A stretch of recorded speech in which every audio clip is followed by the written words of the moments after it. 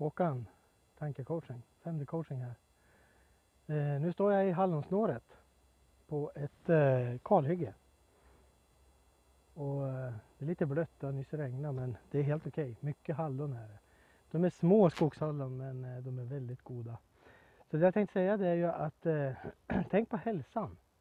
Det är eh, väldigt eh, hälsosamt med eh, bär.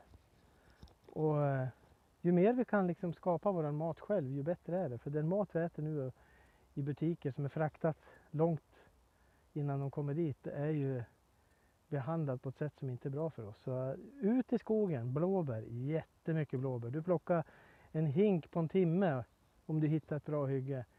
Hallon tar lite längre tid men det är gott. Så att eh, tänk på vad du stoppar i det och motionera. Och man får ju motionen gratis när man är ute i skogen. Det är det som är så härligt.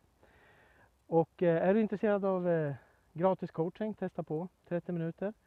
Så kvarstår mitt erbjudande ett tag till så länge det funkar. Här 9 till 9 vardagsmorgnar. Jag har haft tre veckor varje morgon.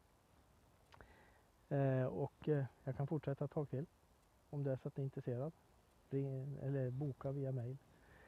Och så kör vi via Messenger eller telefonsamtal bara om det är så att ni inte vill prata med bildsamtal. Det funkar också. Så att eh, tänk på hälsan. Rör på er, ät hälsosamt. Vi behöver det nu för det är många som mår dåligt på grund av allt som händer i världen. Och det finns ingen annan än du som tänker på din hälsa. Så att vi behöver göra det själv. Så var rädd om dig. Så hörs vi vidare. Ha det bra. Hej!